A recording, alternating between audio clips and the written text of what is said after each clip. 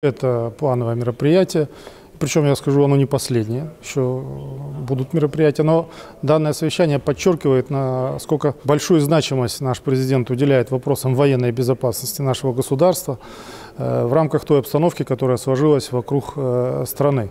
Мы э, пользуясь своими индикаторами, выражаясь военным языком, видим, что обстановка не становится лучше, э, идет ее нагнетание. Мы видим, что, к сожалению, наши соседние государства активными шагами милитаризируются. Ну, я не хочу, чтобы тут кто-то пугался, что вот она завтра начнется война. И президент подчеркнул в своем докладе, непосредственной подготовки нету. Поэтому, видя, как действуют наши соседи, мы, естественно, обязаны реагировать на все происходящее и готовить свои вооруженные силы, свое государство, и прежде всего, к защите к обороне. Мы не собираемся никому угрожать, на кого-то нападать.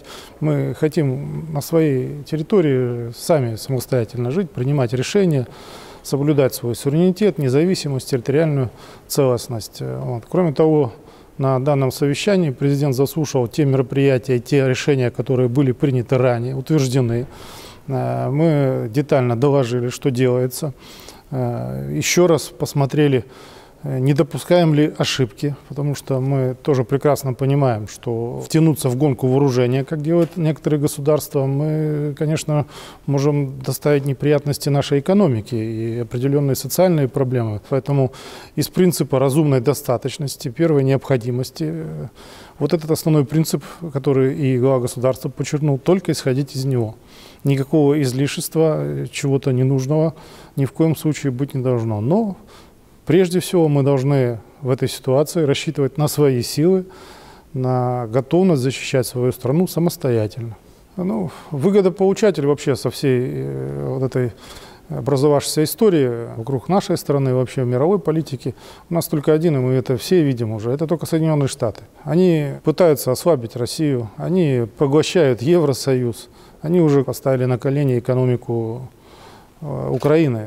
То есть вот это основной, наверное, на сегодняшний день, как мы видим, выгодополучатель от всей сложившейся обстановки и провокации, которые могут быть, на которые мы продумываем, как отвечать. Ну, наверное, где-то, скорее всего, где-то в их интересах для того, чтобы мы туда втянулись. Но мы это понимаем, и на эти провокации, конечно же, будем реагировать, но какими формами, способами, ну, это уже наше дело.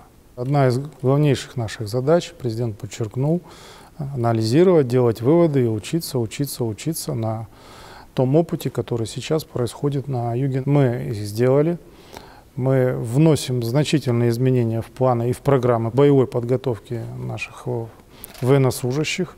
И сегодня, да, официально начинается новый учебный э, год, период подготовки вооруженных сил.